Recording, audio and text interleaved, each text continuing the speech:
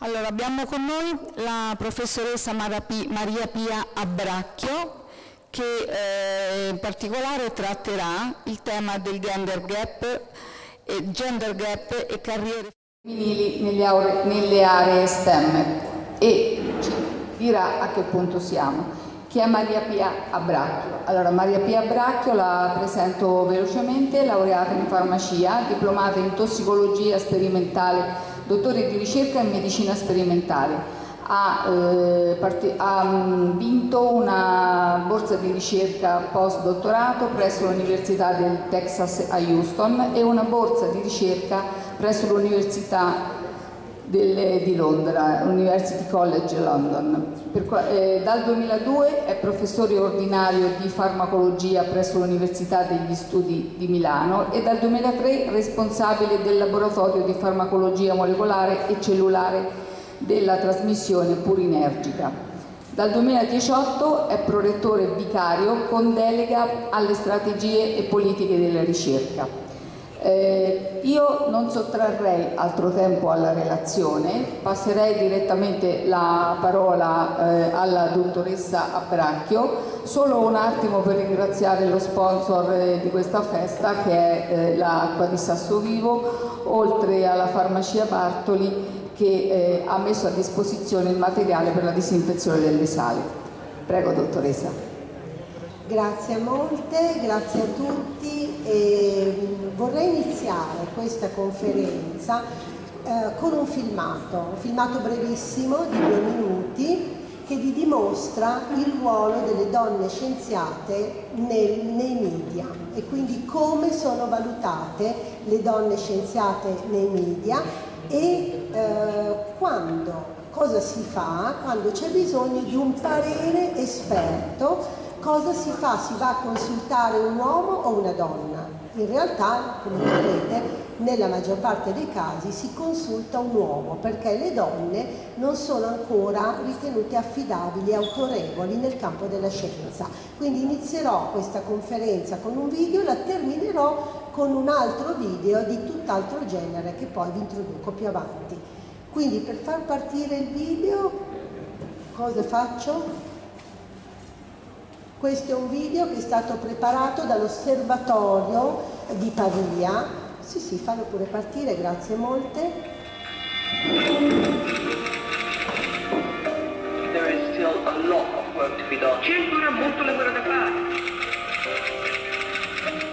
Il cammino della conoscenza è un cammino, è un cammino lunghissimo. Prima l'italiano è conquistare il torneo di Indian Wells eh, molti degli esperimenti che facciamo sono sulla, sulla fisiologia umana.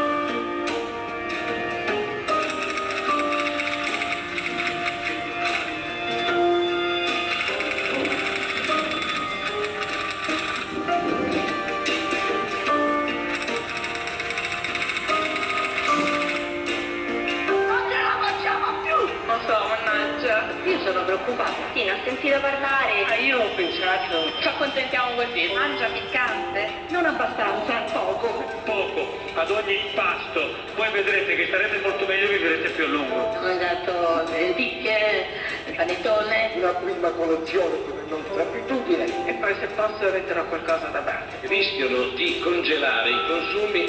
Sì, Febbratissima.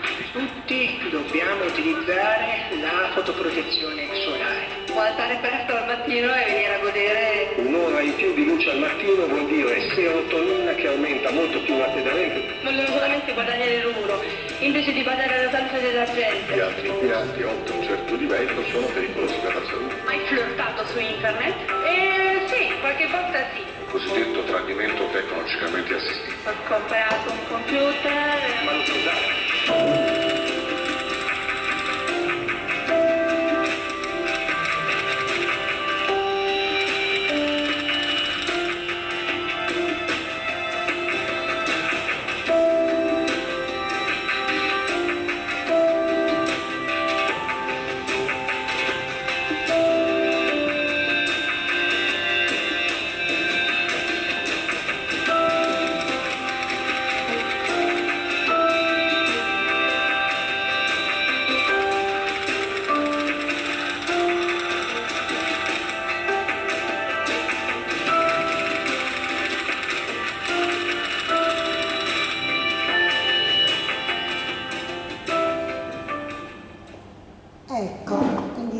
Ora possiamo far ripartire la presentazione, ecco, questo video, Cherchez la femme, vi dice proprio come sono considerate le donne dai media per quello che riguarda la scienza. Sì, grazie. Come avete visto, tutte le volte che viene chiesto un parere autorevole lo si chiede a un uomo e questo va benissimo perché gli uomini esperti ci sono. Però quello che non va bene è che invece alle donne si facciano solo domande banali e non si vada mai a cercare una donna esperta, quando invece le donne esperte nei vari settori, come avete visto anche dalle conclusioni del video, ci sono e come. Ora, eh, in realtà le donne nella scienza ci sono sempre state fin dall'antichità, ma quello che non è stato preservato è la memoria del loro lavoro come pure non è stato preservato il ruolo che potevano avere nella scienza. In questo ruolo si inizia a scoprirlo proprio adesso e qua vi farò alcuni esempi. Quello che vedete qui, Hidden Figures, è la locandina di presentazione di un film del 2016 tradotto in Italia, presentato col titolo Il diritto di contare, che racconta la storia del ruolo delle cosiddette women calculators, cioè le donne calcolatrici. Chi erano le donne calcolatrici? Erano delle donne che venivano chiamate, in questo caso negli uffici della NASA, siamo intorno agli anni 50 quando inizia l'esplorazione spaziale, e c'è bisogno, non ci sono ancora i calcolatori o comunque i calcolatori sono ancora molto indietro e c'è bisogno di fare moltissimi calcoli matematici a mano, cioè eh, a, proprio scrivendoli a mente, ma naturalmente bisogna farli in maniera molto competente e corretta e siccome sono calcoli complicati, lunghissimi, che richiedono oltretutto continui controlli e molta pazienza, questi calcoli vengono affidati alle donne, ritenendo che appunto queste donne che peraltro avevano una formazione scientifica di altissimo rilievo, come vedremo fra un attimo, potessero avere maggior pazienza nel fare un lavoro che era ritenuto dispendioso in tempo ed energia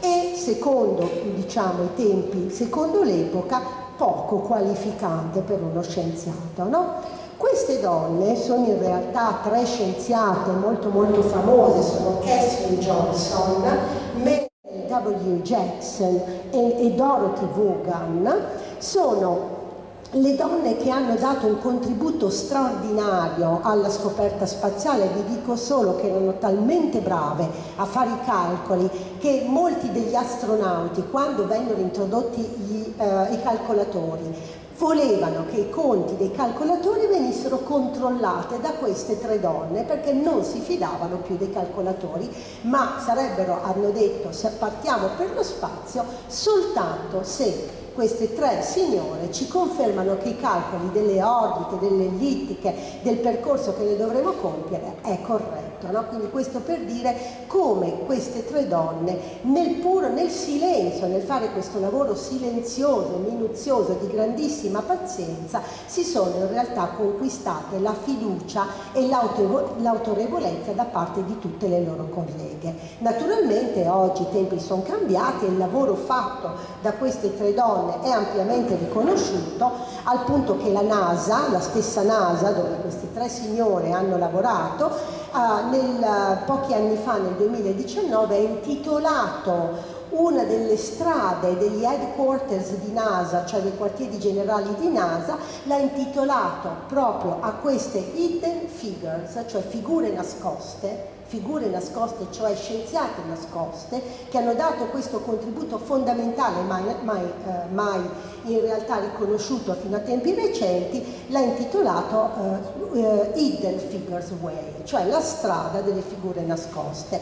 Naturalmente le tre protagoniste, soprattutto una di loro che al momento di questa intitolazione aveva ben 103 anni, hanno finalmente veduto riconosciuto il loro lavoro, anche se in realtà questo lavoro minuzioso, paziente e molto autorevole, che richiedeva una forte preparazione, era un lavoro che addirittura era stato auspicato, incentivato, no? sia dalla Costituzione americana, quindi dal diritto di uguaglianza, ed è un lavoro che anche eh, un diritto no, al contributo delle donne alla scienza che è anche riconosciuto dalla nostra Costituzione come da tutte le Costituzioni dei paesi democratici, con la differenza che però pur essendo riconosciuto come diritto molto spesso trova, fa fatica ad essere attuato, anche se in tempi di emergenza, qui per esempio viene citato un editto del presidente Roosevelt americano durante la guerra, lui emanò un editto che ribadiva molto fortemente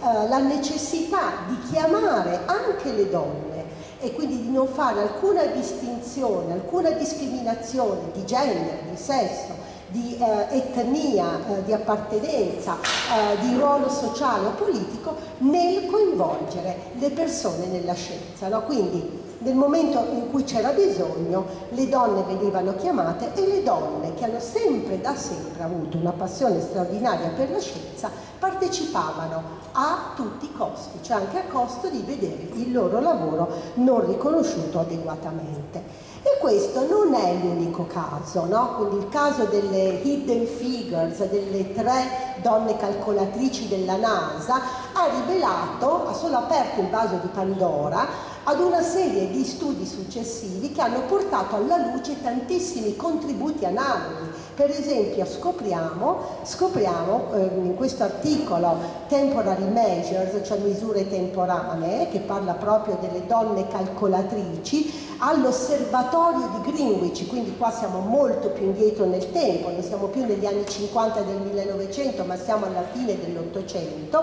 che anche l'osservatorio di Greenwich che aveva bisogno di fare calcoli astronomici molto molto precisi e accurati, ricorreva alle donne. Perché temporary measures? Perché il lavoro di calcolatore umano di solito veniva affidato agli studenti, ai giovani studenti delle scuole superiori che erano temporary uh, workers, cioè lavoratori temporanei che lavoravano durante l'estate nei, uh, nel, proprio alla, alla, uh, nel, con gli astronomi a Greenwich per aiutarli nei calcoli e questo ruolo viene pian piano soppiantato per tutta la durata dell'anno dalle donne, le quali donne a Greenwich in realtà nel tempo addirittura prevalgono, diventano numerosissime, lavorano molto bene, quindi non sono soltanto esecutrici passive di calcoli, ma diventano loro stesse astronome, tanto è vero che usano il, micro, il, usano il telescopio, eh, classificano una grandissima miriade di eh, stelle e addirittura si occupano di pubblicare i risultati delle loro ricerche creando così il background, cioè quindi la, la, base proprio per la mappatura del cielo stellato che noi abbiamo oggi. No? E scopriamo che in parallelo, più o meno negli stessi anni di Greenwich, la stessa cosa succede all'osservatorio astronomico di Harvard, dove di nuovo anche qui vengono reclutate donne per fare questi calcoli, donne che poi si rivelano estremamente brave ed affidabili. Ora, in realtà le donne hanno sempre avuto una passione straordinaria per la scienza, adesso non abbiamo il tempo di cominciare dall'inizio, no? cioè proprio dall'antichità, vi porto solo alcuni, alcuni esempi, eh, sono sempre state presenti nella scienza, molto spesso a fianco o dietro scienziati famosi, che spesso erano membri della loro stessa famiglia, erano i mariti, erano i figli che si dedicavano alla scienza e che ricorrevano all'aiuto per i calcoli, per le illustrazioni scientifiche, per la classificazione dei reperti biologici, ricorrevano appunto alle figure femminili, le quali si accontentavano pur di partecipare alla scienza presenza anche di questi ruoli minori, no? quindi molto spesso anche quando avevano una formazione universitaria le donne tendevano ad assumere ruoli di tecnico, di routine, spesso lavoravano senza remunerazione, senza avere stipendio. Un tipico esempio che vedete qui è quella di una delle fondatrici della paleontologia, ehm, la eh, dottoressa Beit, qua la vedete mentre scava a Betlemme, tirando fuori denti di elefanti dalla terra o altri reperti di tipo paleontologico e classificandoli, eh, costituendo, inventando di fatto per prima la archeozoologia, cioè proprio quindi quella branca dell'archeologia che si occupa dello studio, della classificazione dei reperti degli animali dell'antichità. Eh, come vi dicevo era tutt'altro che insolito per queste donne lavorare a fianco di uomini stipendiati senza ricevere alcuna remunerazione. Ci sono altri casi molto famosi, c'è quello di questo astronomo William Higgins che era aiutato nei suoi studi, anche guidato in certe circostanze dalla moglie Margaret Lindsay Huggins, quando poi però, e questo lo vedete nella pubblicazione scientifica dei lavori che facevano insieme, nella pubblicazione scientifica compariva solo il nome del marito, raramente compariva anche il nome della moglie, questa era una cosa molto comune, ma le donne lo accettavano pur di poter partecipare in prima persona alla scienza. Ad esempio oggi sappiamo che anche Einstein, anche la moglie di Einstein, che era una fisica molto brava e molto preparata, ha contribuito enormemente alle scoperte del marito. Quindi il marito rimane una figura grandiosa, di assoluta eccellenza ma a fianco a sé aveva una donna che lavorava con lui e che eh, da fisica esperta come lui ha contribuito enormemente alle scoperte, inclusa la teoria della relatività.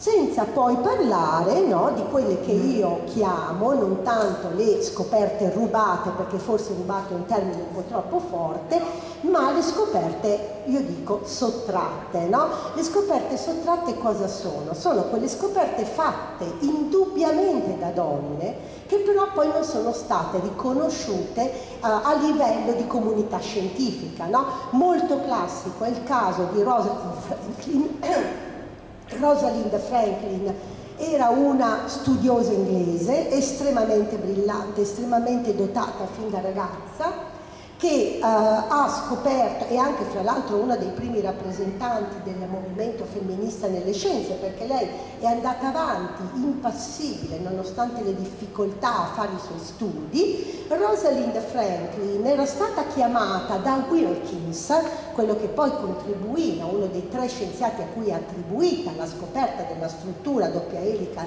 del DNA, fu chiamata, giovane ricercatrice che si stava specializzando negli Stati Uniti, viene richiamata in Inghilterra da Wilkins che in realtà la chiama all'Imperial College dove stava inizialmente perché voleva una mera aiutante, aveva bisogno di un tecnico che facesse le preparazioni del DNA su cui fare le fotografie, ma non voleva una collaboratrice no, a pari livello, voleva semplicemente una persona che facesse al banco di laboratorio il lavoro quello proprio eh, che noi anche noi chiamiamo no, in gergo il lavoro sporco al laboratorio, cioè quindi al banco di laboratorio che richiede molta pazienza, molte ore di lavoro e costa anche molta fatica fisica.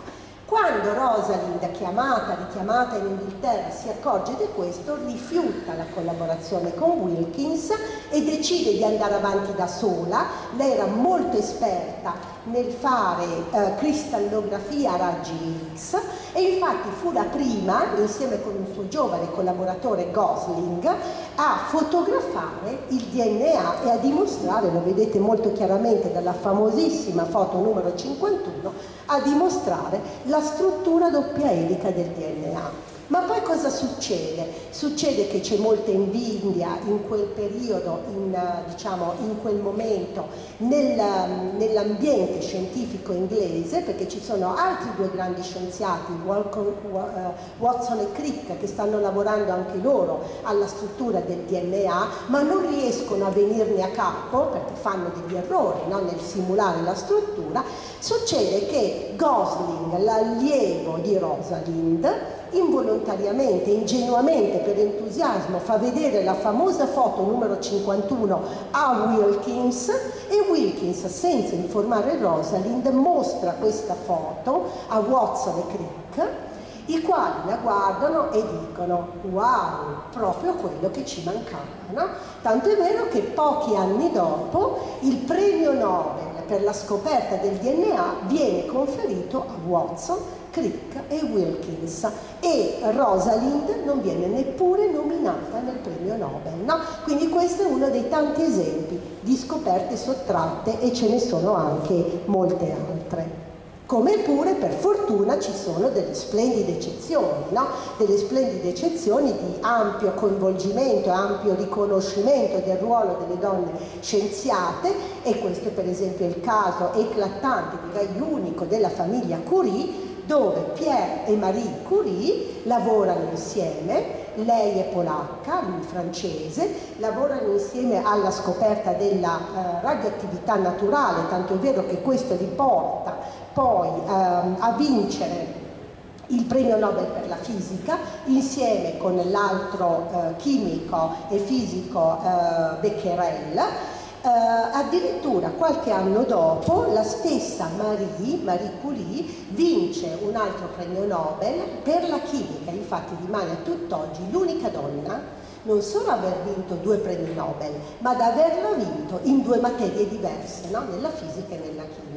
E anche qui ci sono eh, molti racconti no? di come funzionava questo, questa, eh, diciamo, questo sodalizio fra Pierre e Marie che si scambiavano informazioni, lavoravano moltissimo eh, insieme, anche se molto spesso nelle foto, anche proprio quelle da museo, no? si vede che seduta al banco di lavoro c'è sempre Marie, mentre Pierre, come dire, eh, coordina. Eh, e creano comunque un ambiente estremamente positivo, tanto è vero che perfino la figlia, la figlia dei due Irene Curie, insieme con il suo marito Frédéric Giuliot, anche loro scoprono anni più tardi, nel ventennio dopo, la radioattività artificiale e vincono anche loro il premio Nobel per la chimica. No? Quindi famiglia felice nelle quali la scienza è dominante ed è condivisa senza gender gap, senza eh, bias di età, senza nessuna barriera, condivisa da tutti. Ora, com'è adesso la situazione attuale. Potremmo ancora dire molte cose sulla storia della scienza, eh, nel frattempo vi segnalo, se vi può interessare, che sto scrivendo un libro che dovrà uscire a settembre da Franco Angeli, un libro eh, diciamo, dove saremo coautori a pari merito la sottoscritta e la professoressa Maria Elisa D'Amico, che è una costituzionalista, in cui parliamo proprio del lungo percorso delle donne nella scienza per raggiungere la parità. E questo, questo libro, in questo libro raccontiamo molto di più anche della storia perché oggi evidentemente no, abbiamo poco tempo e quindi non possiamo raccontarvi tutti, ma, tutto, ma ci sono tantissimi esempi molto interessanti. Ora, com'è la situazione al momento? No? in questo momento. Ora, le cose sono per fortuna molto cambiate, c'è stato negli ultimi decenni l'ingresso massiccio delle ragazze nei corsi universitari, soprattutto nei corsi delle cosiddette lauree STEM. Cosa sono le lauree STEM? Sono Science, Technology, Engineering e Mathematics, quindi sono le cosiddette scienze dure, che sono quelle scienze dove notoriamente no, con, una, con un preconcetto di base si ritiene che le donne siano meno portate, siano più svantaggiate rispetto ai maschi, Uh, e le ragazze invece entrano prepotentemente in tutti i rami della scienza eh, anche in quello stemma. Quello che vedete al centro, nel rettangolo, è la percentuale di suddivisione degli studenti maschi in azzurro e eh, in uh, rosa giallino le femmine nei vari, diciamo, nei vari percorsi universitari. Come vedete le ragazze sono molto presenti in education, cioè in scienze della formazione, sono molto presenti in arts and humanities, sono molto presenti oggi per fortuna anche in health and welfare, cioè quindi nel tutto quello che riguarda l'ambito salute, non solo la medicina e chirurgia, ma tutte le professioni sanitarie, per esempio l'infermieristica è altissima percentuale femminile, eh, sono presenti anche in buona praticamente metà e metà nel business administration and law, quindi anche nelle leggi, in giurisprudenza e, ed economia, nelle scienze sociali, ma dove trovano ancora difficoltà sono in due ambiti particolari. Il primo che vedete in alto, l'ingegneria, dove le ragazze ancora rappresentano solo meno del 29% di tutti gli iscritti alle lauree ingegneristiche e ancora peggio l'ultima colonna, l'ultimo istogramma in basso, nelle scienze informatiche. Nelle scienze informatiche c'è il grande gap, quello che ormai noi chiamiamo il digital gender gap, perché soltanto il 13% eh, degli studenti iscritti a lauree informatiche di primo e di secondo livello sono ragazze. Tutti gli altri sono ancora maschi perché c'è ancora questa difficoltà, sono ambienti ancora molto maschili, come pure non sembra, ma sono ambienti molto maschili anche le scienze, per esempio la medicina veterinaria, che è considerata ancora oggi una scienza da uomo e, um, e, questo, come vedremo fra un attimo, ci causa anche notevoli problemi, il fatto di avere questo uh, digital gap. Questa asimmetria, asimmetria nella distribuzione, no? ragazze e ragazzi eh, nei corsi di laurea, poi noi ce la ritroviamo pari pari nei corsi di dottorato di ricerca. No? Quindi qua vedete riportato, evidenziato sempre nel rettangolo rosso, vedete le percentuali di distribuzione donne, uomini, ragazzi, ragazze eh, nelle varie discipline. E se guardate bene il cerchio no, con la freccia, nelle eh, ICT cioè quindi nelle scienze informatiche, le ragazze sono ancora pochissimo presenti anche nei dottorati di ricerca, rappresentano solo il 28,7% delle ragazze ammesse ai corsi di dottorato di ricerca che rimangono ancora dei corsi fondamentalmente maschili, il 71% è fatto da maschi. Ci sono altri ambiti dove c'è ancora un gap, ma un gap così forte oggi lo ritroviamo soltanto, come vi dicevo, nelle materie ingegneristiche e in quelle informatiche. Ma dunque, ma poi che cosa succede? No? Cosa succede quando queste ragazze e ragazzi si sono laureati? No? E qui vediamo delle cose interessanti.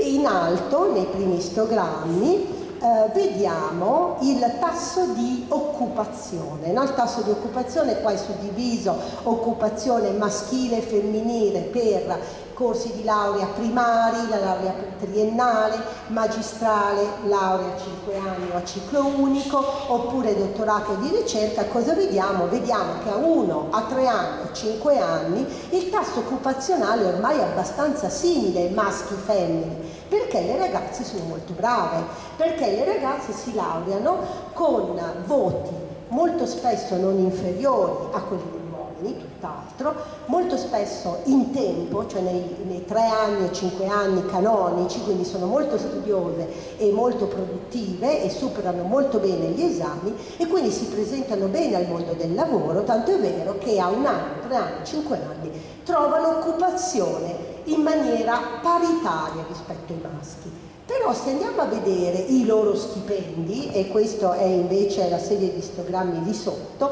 gli stipendi crescono in una maniera differente no? e comincia a esserci già un anno, a tre anni, a cinque anni dalla laurea un gap stipendiale, no? un gap stipendiale che significa che le ragazze all'inizio vengono assunte con lo stesso stipendio di un maschio, no? di un ragazzo, ma poi man mano che passano gli anni, tre anni, cinque anni dalla laurea, vogliamo anche a causa di scelte personali fatte dalle ragazze che poi finiscono per penalizzarle, no? molto semplicemente sposarsi, farsi una famiglia, spesso questo si traduce in un gap stipendiale che è molto forte già a cinque anni vuol dire che a 5 anni di distanza dalla laurea, anche se sono occupate, le ragazze in genere prendono stipendi del 20-30% inferiori a quelli di un uomo. E questo dipende sia dal fatto ci sono indagini molto accurate in questo senso, che vengono applicati, offerti alle ragazze dei contratti meno convenienti rispetto ai maschi, sia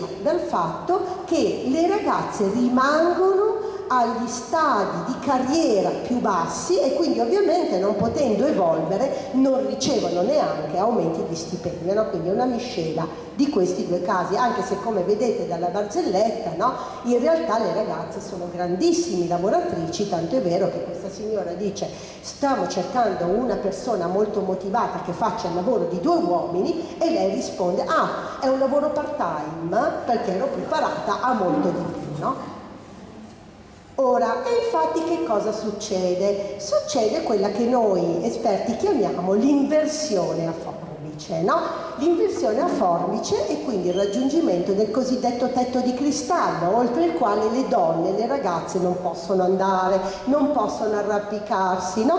Anche se, come vedete dalla vignetta qua, sono molto spesso le donne che supportano tutto il lavoro all'interno o molto del lavoro all'interno di tante organizzazioni, di tante aziende, no? reggendo magari il peso proprio anche organizzativo di tanti aspetti degli aspetti lavorativi, mentre come vedete dalla vignetta gli uomini dicono ma dov'è questo tetto di cristallo? Io non me ne sono accorto, certo perché non riguarda loro, ma riguarda le ragazze.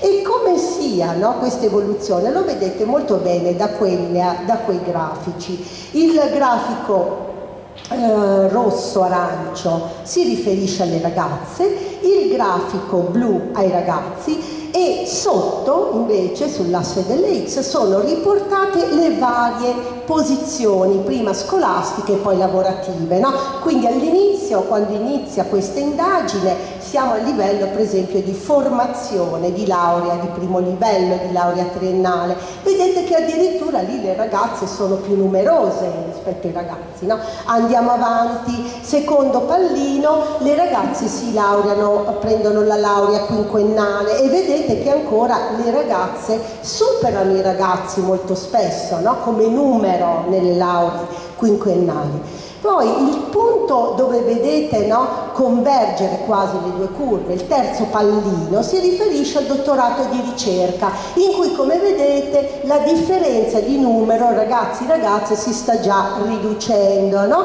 Poi si va avanti ancora un pochettino e quando poi si apre, come diciamo noi in gergo, la forbice e quindi le due rette eh, proprio divergono nettamente, quella maschile verso l'alto e quella femminile verso il basso, è il momento in cui iniziano le carriere, le vere carriere scientifiche, no? Per cui il punto di incrocio dove c'è la parità, vedete che lì c'è proprio un punto di incrocio, è il momento della, per esempio, assunzione all'interno degli Atenei o degli enti di ricerca come ricercatore, no? Quindi come ricercatore, volevo farvela vedere meglio, vabbè, come ricercatore siamo pari, ma poi quando si deve diventare professore associato o professore ordinario, ecco che compare la forbice, il numero di eh, maschi che riescono a raggiungere professore associato e professore ordinario di, si discosta sensibilmente. Invece dal numero di ragazze il cui numero all'interno delle categorie di ordinario, eh, di associato e poi di ordinario si riduce progressivamente. Tanto è vero che anche oggi la media nazionale fra tutti i professori ordinari d'Italia in tutte le materie vede le donne presenti solo per il 28%, tutti gli altri professori ordinari che come sapete il massimo grado no, all'interno delle, delle, carriere è eh, maschile. Ora, vi dicevo prima del digital gender gap, no? cioè di questo gap eh, diciamo nella digitalizzazione, nella educazione digitale che è molto a sfavore delle donne. Questo è un grossissimo problema, tanto è vero che proprio per, per quello che riguarda no?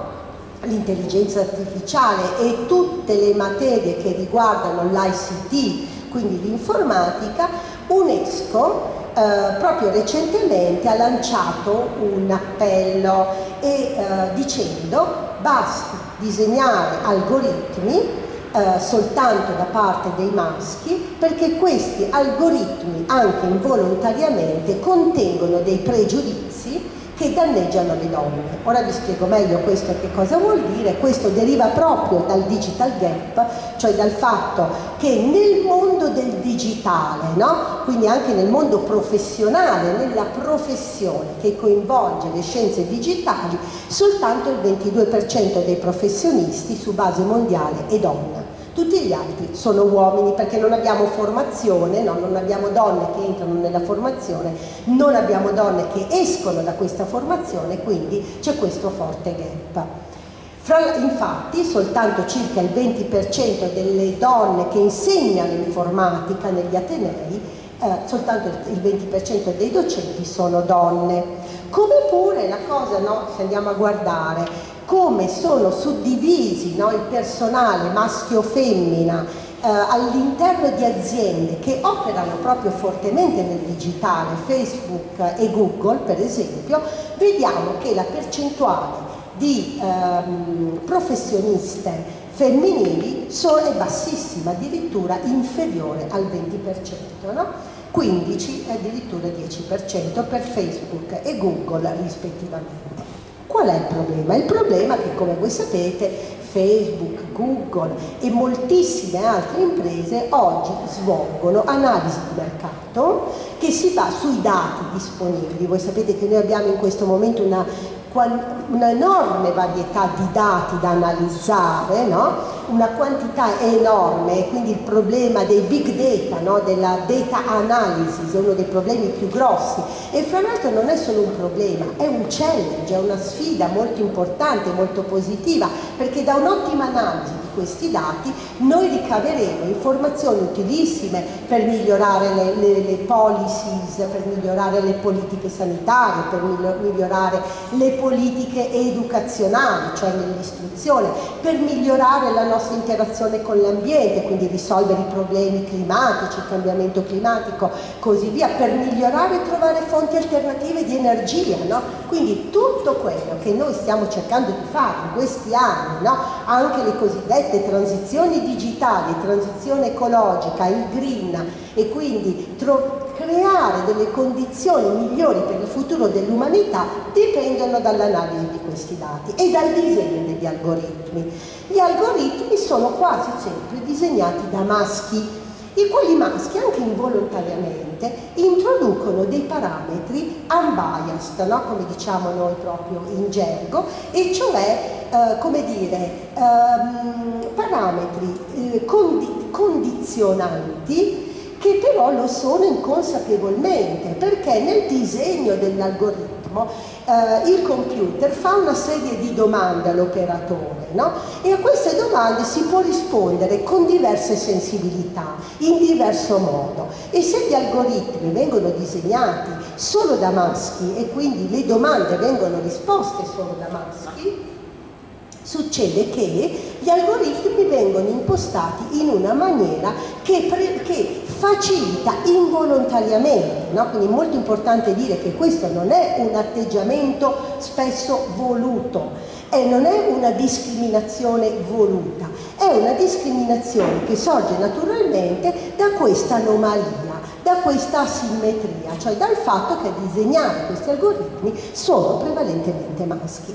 E che cosa succede? Succede che molti di questi algoritmi sono quelli che per esempio vengono usati per la ricerca del personale. No?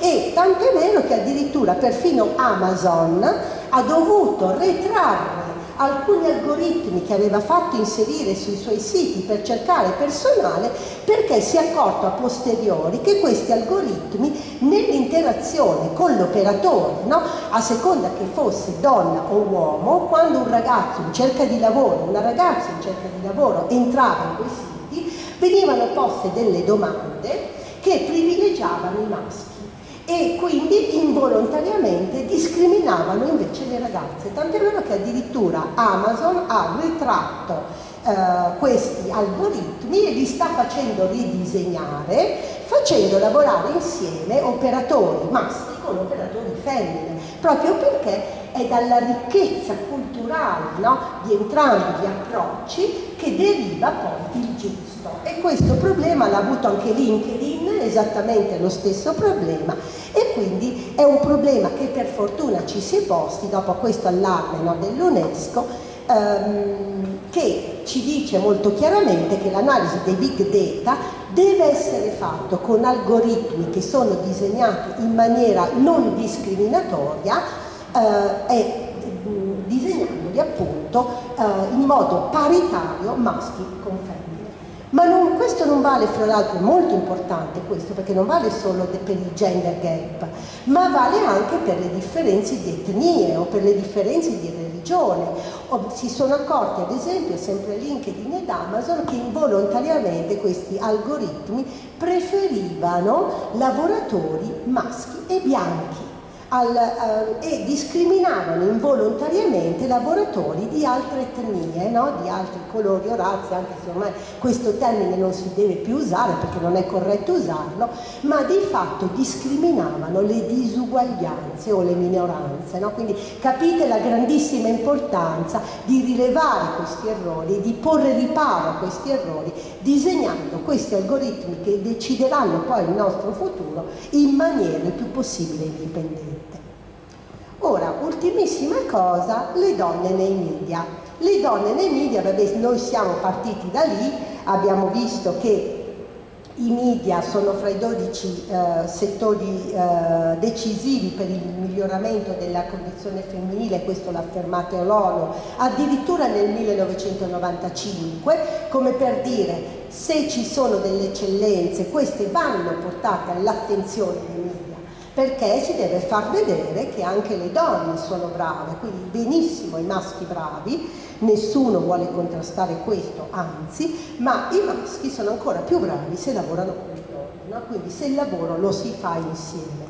Ora, in alcuni ambiti abbiamo fatto notevoli progressi perché per esempio siamo vicini all'equilibrio di genere con un'ampia inclusione al femminile in alcuni eh, aspetti dei media, per esempio nella conduzione dei programmi televisivi dove circa la metà dei conduttori è femmina, nei, fra i giornalisti, dove molti dei giornalisti, anche se non proprio la metà ormai, sono ragazze, sono femmine, fra le persone comuni che compaiono in televisione o nei cast delle fiction mentre invece abbiamo ancora degli sbilanciamenti molto forti con marginalizzazione delle donne in altri settori, cioè per esempio fra i politici, fra i portatori di istituzioni dove le donne rappresentano soltanto ancora il 22%, fra gli esperti dove rappresentano solo il 25% e fra le celebrità per esempio che vengono invitate ai programmi televisivi. No? Ora, questo giornale che vedete qui, questo che ho riprodotto qui, si riferisce no, a diversi decenni fa quando sono stati fatti i primi parlamenti in Italia e le donne iniziavano a eh, fare politica ed entrare in Parlamento e qui giustamente vedete celebrato questo evento, no? 39 donne alla Camera perché allora era una cosa molto positiva. Però qual è il problema? Il problema è che questo non deve far notizia, non deve più far notizia perché deve entrare no, eh, regolarmente nell'abitudinario, non deve più far notizia, come ancora fa notizia, che una donna sia scienziato e abbia dei figli, perché questo deve diventare normale, deve essere normale. Ora, visto che il tempo sta passando velocemente, salto la parte sugli implicit bias, gli implicit bias un pochino li abbiamo nominati, sono quei preconcetti impliciti, impliciti perché? Perché noi non ce ne accorgiamo, ci derivano no, dalla cultura, dall'ambiente in cui siamo stati esposti, sono quelle cose che ci vengono distinto, no? come nelle barzellette, la famosissima barzelletta che tutti conoscerete, di quando ad un chirurgo viene presentato un ragazzo che ha appena avuto un incidente stradale, gli dicono lo devi operare e il chirurgo dice non posso operare, è mio figlio e tutti si chiedono ma perché non lo può operare? Ma perché non lo può operare? Perché il chirurgo, tutti dicono ma forse ha sposato un'altra, ma quando si dice il chirurgo si pensa a un maschio e invece quel chirurgo è una donna. No? Quindi ecco tutte queste eh, implicit bias devono essere superati, la Commissione europea ci sta lavorando molto, sta emanando dei regolamenti che vengono poi eh, resi pratici, no? quindi messi nella pratica dalle istituzioni, dagli enti di ricerca, dagli atenei e anche da tutte le aziende in modo da annullare questo implicit bias. Eh, voglio invece chiudere con l'altro filmato, con l'ultimo filmato, che è un filmato molto bello che abbiamo girato ehm, grazie al supporto ehm, dell'osservatorio di Pavia da cui è nata questa indagine sulla presenza delle donne nei media, se possiamo, come facciamo a far partire il filmato? è un filmato che parla di donne scienziato in laboratorio e che eh, diciamo, lancia questo messaggio molto positivo.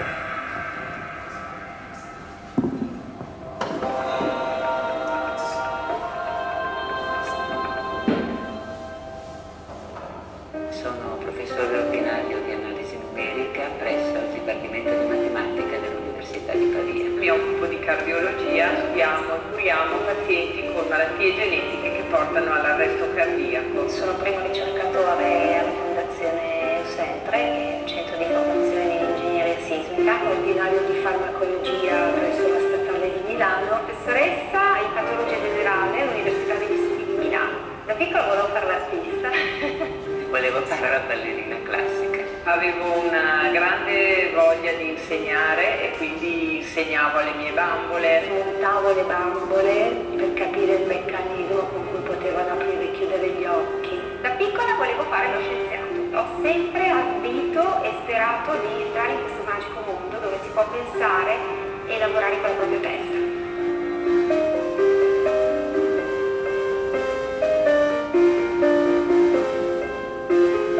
Mi è sempre piaciuto cercare di capire e di spingere un pochino più in là il confine delle cose note. C'è sempre un po' questa incognita del riuscire a arrivare in fondo a una certa cosa fatto letto insieme è anche un fattore molto, molto stimolante. L'ingegneria è difficile, l'ingegneria da uomini è assolutamente un luogo comune, cioè non bisogna fermarsi ecco, di fronte a queste cose. Per quanto riguarda la capacità intellettuale, la capacità logica e razionale, sicuramente nessuno più crede e deve credere che le donne ne abbiano di meno, che quindi ci sia meno talento e meno capacità di diventare degli ottimi ricercatori. Io penso che la scienza sia per tutti roba da uomini, roba da donne, roba da chi ha passione per scoprire, per imparare, per conoscere. Non è né da donne né da uomini, è la scienza per tutti, quindi ovviamente anche per noi. Bisogna avere le capacità e la forza. Serve un sacco di creatività e di immaginazione, non ci crede nessuno, ma è così. E non c'è un discorso di genere, c'è proprio un discorso di capacità e di Signore. È vero che ci sono ancora, a mio avviso, degli ostacoli che ci vengono proprio da come è organizzata la società. Quando il bambino aveva due linee di febbre, non era il papà che correva a casa, il papà doveva lavorare, era la mamma. Prendevo mia figlia la mattina, arrivavo con la mia carrozzina, stavo nel mio studio, parlavo con gli studenti, cioè mia figlia è nata sostanzialmente in questo, in questo stadio allora strano che un papà si prenda una paternità da condividere con una mamma quando si hanno dei bimbi piccoli, no? E questo non deve essere strano. Cioè nel futuro questo deve diventare la norma.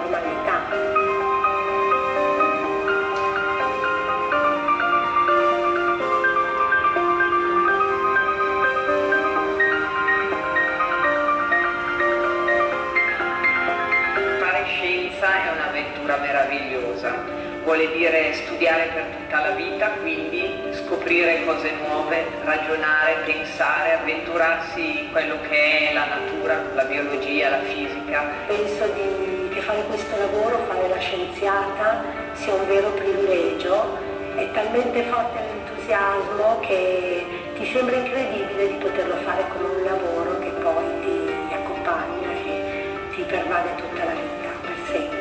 Dà una passione, una carica, un'energia che anche nei momenti difficili, siccome non puoi mollare, ti aiuta a uscire dai tuoi problemi personali e a non mollare, ad andare avanti e cercare da un punto di vista dei progetti e delle conoscenze di essere sempre presente e quindi di avere sempre la gratificazione di quello che si è riusciti a fare ogni giorno. Sono estremamente soddisfatta di questo mestiere, nonostante le difficoltà. C'è un pezzo della tua testa, ma un pezzo della tua testa che va a, con la comunità, cioè la comunità si spera che utilizzerà questo pezzo e va avanti, questa è la cosa più bella, cioè che la gente usi poi quello che hai.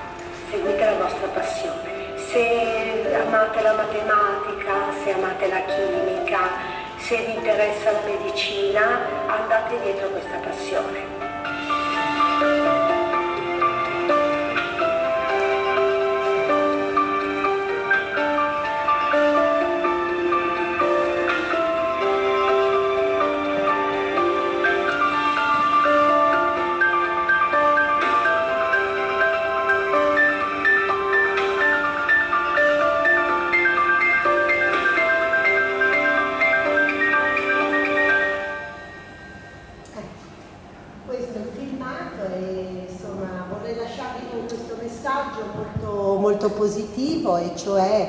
Ce la possiamo fare, ce la possiamo fare tutte e soprattutto le ragazze giovani vanno molto incoraggiate a seguire il proprio talento.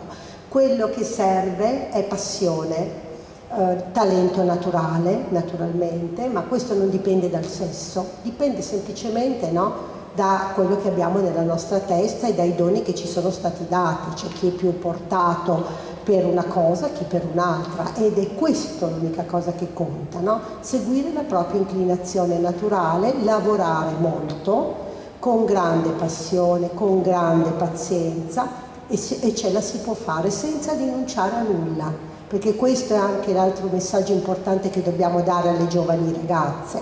Non dovete scegliere fra una cosa e l'altra, cioè fra il fare le scienziate e per esempio avere una famiglia, perché potete fare tutte e due le cose. Richiederà più sacrificio, ma che professione esiste che per essere no, davvero coltivata bene non richieda sacrificio? Tutte le professioni richiedono impegno, richiedono sacrificio e poi danno grandissime soddisfazioni e questo vale anche per la scienza. Non c'è bisogno di essere dei geni, basta essere delle persone intelligenti, avere però molta passione e dedizione. Eh, grazie a tutti.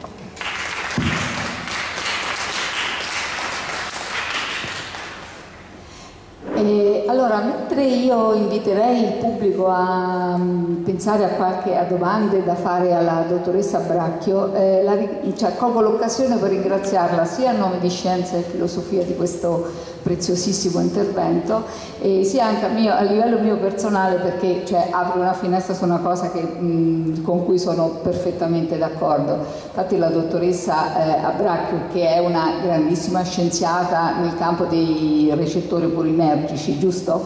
E eh, oltre ad avere moltissime pubblicazioni, oggi non ci ha parlato della sua materia, ma sta affrontando un tema che trovo importantissimo perché è un tema determinante anche per l'evoluzione della nostra società. È un tema fondamentale. Quindi io vorrei capire se nel pubblico c'è qualche domanda che... Prego, le passo il microfono poi.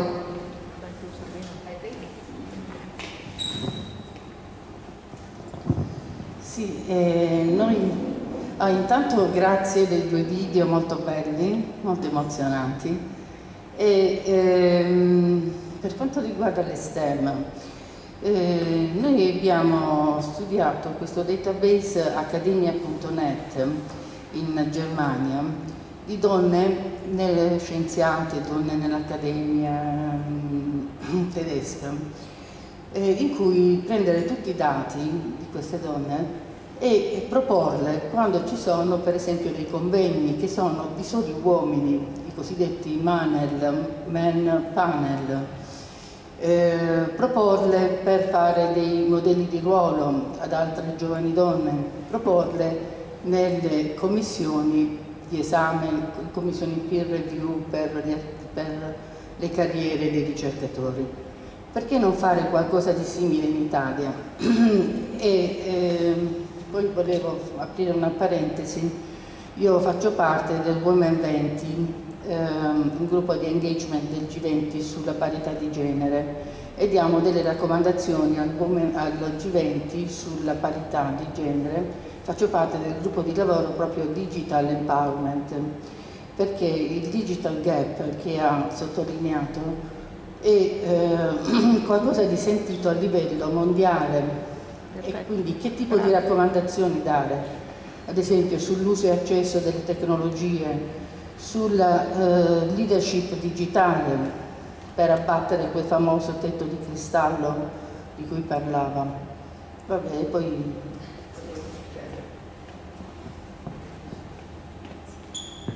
No, grazie molte per questi commenti, per queste due domande che sono molto molto pregnanti, molto inerenti all'argomento.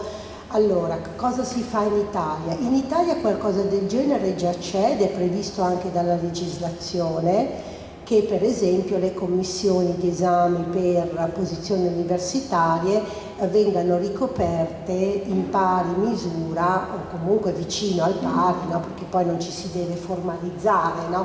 per un numero in più o un numero in meno, ma che vengano reclutati sia maschi che femmine. Di solito infatti quando un uh, dipartimento propone un concorso propone una rosa di possibili can, diciamo, candidati commissari da cui poi vengono estratti no? i nomi dei candidati, dei, di quelli che saranno i componenti di quella commissione. In questa rosa devono essere rappresentati tutti e due i generi in maniera piuttosto bilanciata. Naturalmente se ci sono gli esperti in quella determinata materia, perché un altro dei problemi che si allaccia immediatamente a quanto tu hai detto è il fatto di, delle quote cosiddette quote rosa no? o quote azzurre, nel senso che non è detto, non sempre le quote rosa sono un vantaggio, perché sono un vantaggio se permettono alle donne qualificate professionalmente di entrare in certi contesti dove non sono rappresentate, però bisogna tenere conto che il primo, il primo parametro no? se vogliamo davvero promuovere una società della conoscenza e quindi una società basata sul, proprio sulla condivisione della conoscenza, il primo parametro deve essere la qualità. No?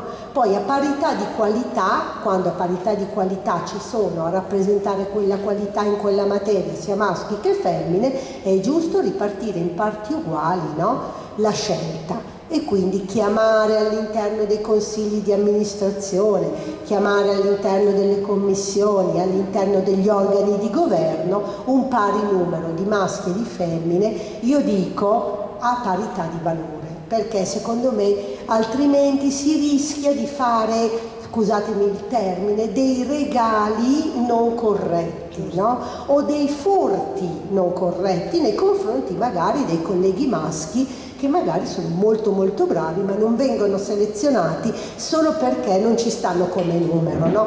Dobbiamo evitare anche di andare all'opposto. No? Quindi è la questione del paradosso, dobbiamo cercare di essere unanimi. Quello che sta cercando di fare anche il PNRR, no? che come sapete ha tre priorità trasversali, oltre che le priorità tematiche del PNR, no? le tre priorità trasversali che sono giovani, gender gap, nord-sud, quindi superare i divari, tre divari che affliggono il nostro paese, la bassa natalità, quindi promuovere i giovani come promuovendo politiche per favorire la famiglia, per fare nascere più bambini e per prendersi in carico poi di questi bambini in modo più completo, favorendo l'accesso equo dei bambini agli studi, no? maschi o femmine che siano, anche qui sempre basandosi solo sulle loro qualità e sui loro talenti. No? Quindi quello è il primo divario. L'altro è il gender gap. Il PNRR prevede che almeno il 40% delle posizioni lavorative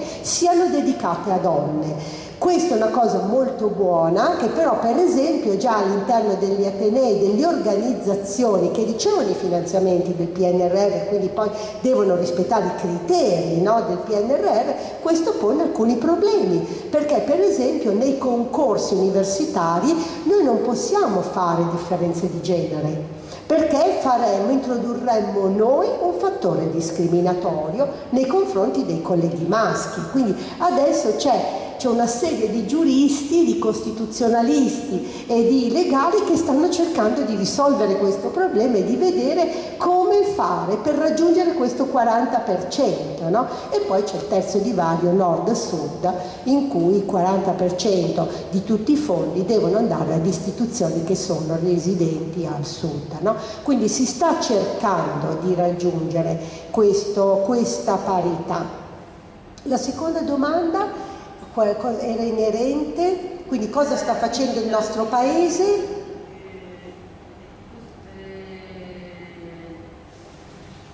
Come la Germania sta creando Ah certo. Sì. il database delle 100 esperte della Fondazione. Sì, sì, sì, sì. Fondazione Bracco, avrete visto che in questi firmati, soprattutto nel primo, si faceva riferimento alle 100 esperte. Le 100 esperte è un'iniziativa di Fondazione Bracco che ha selezionato, basandosi su criteri di qualità e per usare criteri di qualità ha utilizzato l'indice citazionale delle pubblicazioni scientifiche fatte da donne, no? quindi è andato a guardarsi proprio nelle pubblicazioni scientifiche dove comparivano delle donne e se queste pubblicazioni erano molto citate da altri, perché quando una pubblicazione scientifica è citata da altri vuol dire che è importante, vuol dire che ha influenzato quelli che venivano dopo, no? Perché io leggo le pubblicazioni scientifiche e mi ispiro alle novità in- contenute in queste pubblicazioni per fare la mia ricerca futura. È chiaro che nel fare la mia ricerca futura io prendo proprio spunto dalle pubblicazioni, quindi quando poi scrivo il risultato del mio lavoro cito, no? dico come dimostrato da Pinco Pallino, no? io ho seguito quel metodo e ho fatto così, così, così. Fondazione Bracco, basandosi su questi criteri di qualità delle pubblicazioni scientifiche, nel 2016 selezionò 100 donne in ambito scientifico, ho avuto l'onore di essere selezionata perché poi sono entrata anche nel circuito divulgativo, no? perché ritengo utile esporre la propria esperienza per richiamare nuove leve no? all'interno della, della, della ricerca femminile eh, e come per dimostrare che le 100 esperte ci sono, cioè che ci sono le esperte nelle varie materie. Dopo quello ha fatto le 100 esperte nell'economia per dimostrare che anche non solo nelle scienze STEM ma anche nell'economia le donne preparate, le professioniste ci sono e quindi devono essere anche loro consultate, possono essere consultate e poi ha fatto addirittura le esperte in filosofia per dirvi no, anche l'ambito a cui estendere perché le esperte non sono soltanto per le scienze STEM, ma per qualunque settore, soprattutto in un momento come oggi dove noi abbiamo disperatamente bisogno di tutti. Abbiamo bisogno degli esperti scienziati, abbiamo bisogno degli economisti, abbiamo bisogno dei sociologi, abbiamo bisogno dei filosofi, perché anche per disegnare gli algoritmi noi abbiamo bisogno degli umanisti. E questo qui è il momento, è un momento speciale dal punto di vista culturale in cui veramente il contributo di tutti può essere dato e ascoltato. Adesso si parla di STEAM perché a quello STEM è stata aggiunta una A, STEAM che vuol dire fra l'altro vapore in inglese, mentre STEM vuol dire seme, quindi sono acronimi che hanno anche un loro significato simbolico e quella A sta per arts, arti. E per arti si intendono tutte le discipline umanistiche. E questo è un momento veramente straordinario della, della conoscenza umana perché è un momento in cui possiamo e dobbiamo mescolarci e l'inserimento delle donne nel mondo produttivo, nel mondo della ricerca, nelle istituzioni non è soltanto una concessione fra virgolette che va fatta alle donne, ma è un'occasione da non mancare per non mancare, per non privare il paese del contributo femminile, quindi del contributo che le teste femminili, la forza lavoro femminile possono dare al paese, che è un contributo di valor pari a quello degli uomini, quindi non è assolutamente neanche per sminuire il contributo fondamentale dato dagli uomini, ma è per arricchirlo e per lavorare insieme, perché come abbiamo visto soltanto lavorando insieme possiamo evitare dei bias impliciti che potrebbero danneggiarci tutti.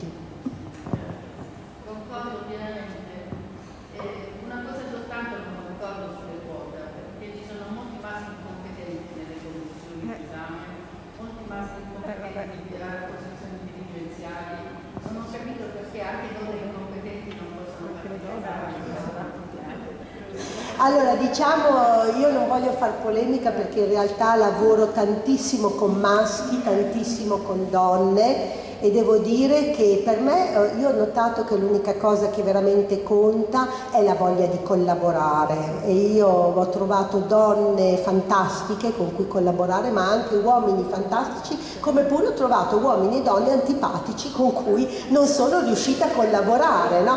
quindi non è una questione né femminile né maschile ma è una questione proprio anche se volete di attitudini personali, di abitudini, tutto quello che volete. Ora io credo anche una cosa, no? che è anche vero quello che tu hai detto, che ci sono nelle varie posizioni anche uomini incompetenti, come pure in tante posizioni, anche, anche se più rare, semplicemente perché ce n'è di meno, donne incompetenti. Ma questo, lavorare insieme, è anche un grande stimolo personale per migliorarsi, perché nel momento in cui veramente si lavora insieme, si dà ciascuno il meglio che può dare, no? il contributo, quindi ognuno fa la sua parte e questo aiuta moltissimo, quindi anche l'abitudine al lavoro in team, che non è un'abitudine tipicamente italiana, diciamocelo, perché è molto più consueto lavorare in team in paesi stranieri, noi lo stiamo imparando, ma noi italiani siamo molto individualisti in tutto, anche nella scienza, no? per cui dobbiamo primeggiare, no? maschi e femmine dobbiamo primeggiare. Ecco, anche lì dobbiamo imparare e metterci insieme senza, eh, come dire, eh, preconcetti e contaminandoci ci aiuta ad imparare anche questo, anche il lavoro di team cosa, infatti il principio anche della cross fertilization, no? la fertilizzazione incrociata, la contaminazione delle idee, i principi dell'integrazione, della interdisciplinarità, della collaborazione, sono tutte eh, diciamo, cardini che dovrebbero essere ormai, cioè, e, e, fortuna su questo come ha richiamato cioè, diciamo, ci aiuta anche l'Unione Europea dove nelle politiche trasversali ma nei fondi strutturali, in qualsiasi fonte di finanziamento che poi ricade eh, sulle persone inserisce questo principio e quindi con forza. E io una domanda le volevo fare, approfitto poi magari se nel pubblico c'è qualcun altro, qualcun altro così intanto mm, cioè il ruolo dell'orientamento anche diciamo, nelle scuole che generalmente avviene nelle eh, scuole superiori, magari nel quarto anno, no? ma secondo me è un orientamento di genere che andrebbe fatto fin dalle scuole eh, dell'infanzia, fin dalle scuole e va, andrebbe fatto proprio a carico di figure magari femminili perché se no ritorniamo al rischio del paradosso, no? insomma così. Quindi le volevo chiedere che cosa ne pensa a questo proposito. Ma questa è un'osservazione importantissima perché secondo me non basta arrivare a 18 anni, cioè l'orientamento scolastico per la scelta poi dell'università, no? dei corsi di laurea eccetera è importantissimo, però si deve arrivare a questo momento con i ragazzi già preparati ed è vero, si deve iniziare dall'asilo secondo me, dall'asilo e certi insiste moltissimo, molt, la, perché ad esempio sempre nel nostro PNRR, poi speriamo no, ovviamente di riuscire a realizzare tutti questi obiettivi, no? abbiamo 191 miliardi che ci, stati, che ci vengono prestati, non è che ce li hanno dati già tutti, no? ce li danno a raggiungimento dei vari obiettivi intermedi Però speriamo davvero che questi 191 miliardi ci aiutino da qui al 2025 a fare il grande cambio culturale, un cambio di sistema, no? proprio di paradigma. E nella missione eh, M4, che è quella università e ricerca, C1, componente 1, è la missione sull'istruzione, no? Ed è una missione sull'istruzione che considera l'istruzione proprio dai primi momenti di vita, dal nido, dall'asilo, no? È, lì, è da lì che dobbiamo incominciare. Non ci sono, per esempio, giochi da femminuccia, no? Ma ci sono i giochi che piacciono quindi è un cambiamento culturale enorme, come dice la collega, che va fatto da subito. Quando si entra in un negozio e si chiede no, un giocattolo e ti chiedono è un maschietto o una femminuccia, no? non ti dovrebbero chiedere questo, ti dovrebbero chiedere ma che cosa gli piace fare o le piace fare, no? Perché anche ai maschietti può piacere di, di giocare con le bambole, come pure alle femminucce piace fare le costruzioni, dipende proprio dall'indole personale, no? Quindi senza snaturare nessuno, perché ci sono comunque dei ruoli biologici inevitabili che fanno parte del nostro essere umano, no? Fare i figli, eh, accudire i figli o che poi accudire i figli si può condividere, no? l'accudimento in parti uguali, dove ciascuno dà il meglio che può dare, no? anche nella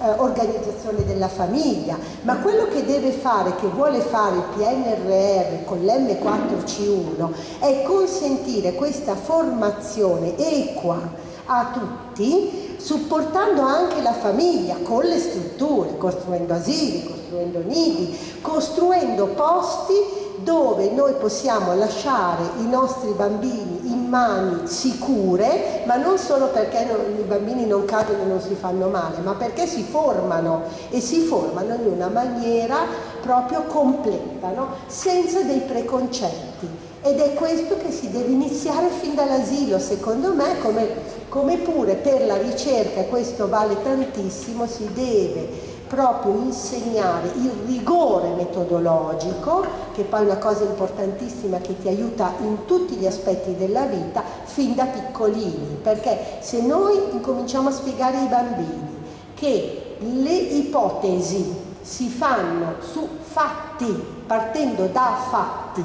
e non da cose basate sul nulla, insegniamo ai nostri ragazzi, maschi o femmine che siano, a riconoscere le fake news da quello che è la verità, no? Perché? Perché le fake news sono panzane che vengono messe nel web e che non hanno nessun fondamento, ma se noi insegniamo ai nostri bambini a non credere a tutto, ma ad andare a fare le loro verifiche personali, che quando ti dicono che l'asino vola, tu devi chiedere ma dimmi dove l'hai visto, dove l'hai letto e fammi vedere le prove. No? Ecco, se noi insegniamo questo, che è il rigore metodologico, e al tempo stesso vi insegniamo anche il rigore etico di comportamento e quindi a superare le diversità e a considerare invece la diversità come una grandissima risorsa, una grandissima risorsa che va condivisa, ecco che noi stiamo già formando non solo dei magari possibili futuri scienziati, ma dei bravi cittadini. No? E credo che questo sia proprio nel grande cambiamento culturale che il nostro paese, come anche tanti altri paesi, eh, perché non è che noi in Italia siamo poi così indietro rispetto agli altri, devono fare per la vera parità. Ci sono altre domande? Approfittiamo perché siamo soli, quindi non abbiamo nessuno dopo. Prego.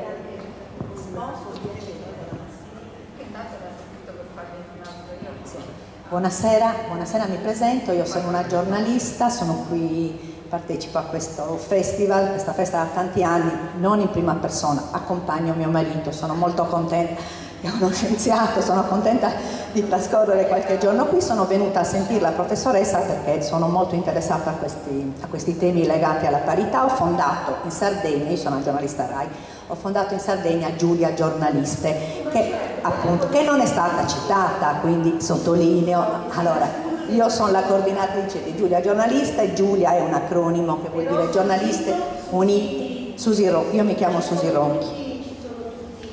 Sì.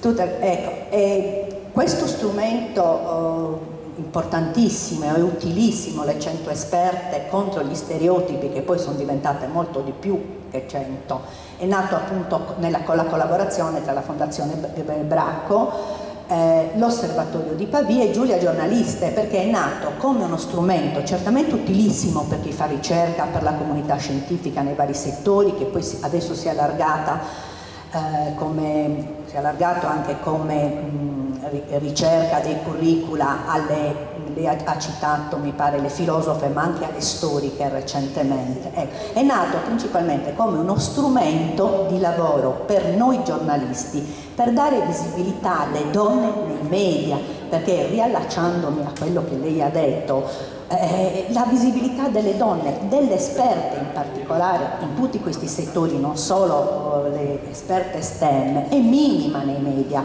Io mi permetto di darvi un dato, siccome ci lavoro molto sono stata presidente del Corecom Sardegna fino a settembre scorso, ho attivato tantissimi studi e analisi attraverso anche finanziamenti del Corecom sulla parità e sulla presenza delle donne anche nelle nostre emittenti private in Sardegna, ci stiamo lavorando moltissimo.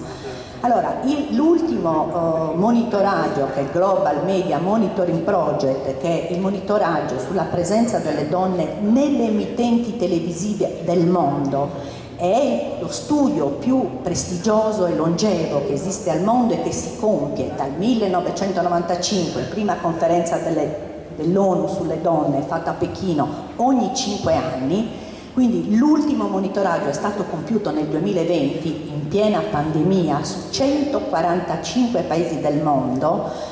E non ricordo quante emittenti, compresa la RAI, televisive, telegiornali, parliamo di mm, spazi di informazione italiani, anche col referente Osservatorio di Pavia, che è appunto referente di questo monitoraggio in Italia, ci ha dato dei numeri allarmanti. La presenza delle donne negli spazi dell'informazione, non stiamo parlando di talk show o di Sanremo, ma di informazione, quindi telegiornali, approfondimenti, trasmissione appunto di approfondimento delle notizie, è pari al 23%, che è una, uno spazio minimo. Le esperte le esperte nel 2000, nei cinque anni, diciamo, tra il 2015 e il 2020, quindi per l'ultimo monitoraggio, in Italia hanno ottenuto una presenza del 12%. Io le voglio sottolineare questo numero, questo dato. Cinque anni prima, nel 2015, nel penultimo monitoraggio, le esperte presenti nell'informazione italiana erano del 18%. Quindi che cosa significa? Noi ci abbiamo ragionato, noi giornalisti, cioè c'è stato veramente un passaggio, un passo, passaggio all'indietro di 6 punti percentuali, che non è poco, è tantissimo, però questo, eh, diciamo, battuta d'arresto eh, si è verificata all'interno di un contesto che ci fa riflettere, cioè piena pandemia, quindi significa che i flussi comunicativi sulla pandemia, quindi sui comportamenti sociali, sui vaccini, eh, sul virus, eh, sui decreti, eccetera, sono stati quasi del tutto esclusivamente affidati agli uomini che hanno parlato in qualità di esperti, di medici, di tecnici, di sanitari, di infermieri. Le donne sono state rappresentate al 12% come esperte. Quindi 88% la visione che noi abbiamo avuto in Italia è stata affidata agli uomini per l'88%, quindi anche di virus noi abbiamo parlato attraverso voce e interpretazione, visione ottica maschili. Quindi io le chiedo che cosa è successo secondo lei? Perché insomma, anziché andare avanti, eh, siamo veramente tornate indietro. Questo vuol dire che quando l'informazione passatemi il termine, cannibalizza no? su un tema le notizie, perché siamo stati anche davanti a un fenomeno dell'infodemia, però quando l'informazione quindi punta eh, il, suo core business a, trattando alcuni temi, in questo caso è stata la pandemia e il virus, guarda caso poi si rivolge da spazio agli esperti. E quindi cosa è successo? Due, mi permetto di fare un'ultimissima osservazione veloce, ho apprezzato molto i video, io sono una giornalista televisiva quindi lavoro molto sul video, quindi apprezzo moltissimo. Il primo, l'ultimo l'ho apprezzato, persone eccezionali, specialiste, però mi chiedo come mai non avete rispettato il linguaggio di genere? Mi è sembrato veramente un aspetto che ha un pochettino, come dire, intiepidito anche la mia passione a vedere questo, questo video perché insomma tutto ciò che non si nomina non esiste, il neutro, io non voglio aprire qui una conferenza sul linguaggio perché siamo veramente divisi sull'uso dello Sheva, sull'asterisco, sul linguaggio inclusivo eccetera, però insomma perlomeno arrivare no, ad una conquista che ormai diventa una conquista necessaria e tradizionale sulla lingua riconoscendo il femminile soprattutto quando diciamo lavoriamo all'interno di temi così importanti che il riconoscimento della parità. Io faccio so perché noi lavoriamo, io lavoro molto sul linguaggio anche nel mio, insomma, nella mia attività, grazie. Allora, sono due punti estremamente interessanti. Ci tengo a precisare che anche se non ho potuto citare tutti perché questi video sono stati anche sponsorizzati dalla Commissione europea sui siti eh, dei, dei, video, no? quindi quelli che noi abbiamo cliccato, c'è tutto il riconoscimento a tutti gli stakeholder e tutti i collaboratori che hanno potuto portare alla generazione di questi video, incluso Giulia, fra l'altro io conosco molte colleghe sue che fanno parte di Giulia, con le quali ho Luisella Seveso, tutta una serie di colleghi con le quali ho dei rapporti molto, veramente molto amichevoli da anni.